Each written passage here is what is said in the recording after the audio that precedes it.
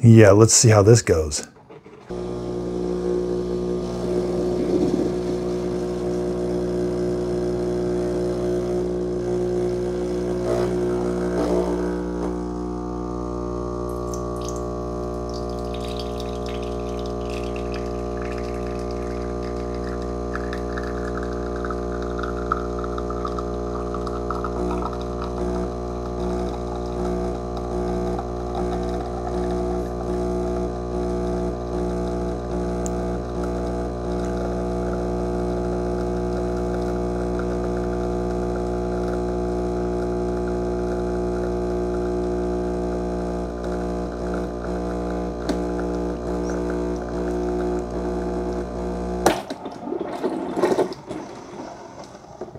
Did you see it not flowing out both sides at the same time?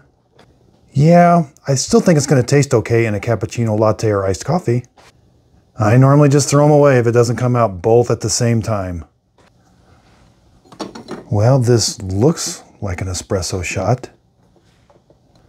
But does it taste like one? Yeah, just can't drink it straight like that. I have to put it with milk and sugar. Okay, so let's see your puck. Is it perfectly formed and does it come out and is it whole? Yeah, I mean, it looks okay. Finally, you made a mess. Yeah, you're kind of used to big messes, aren't you?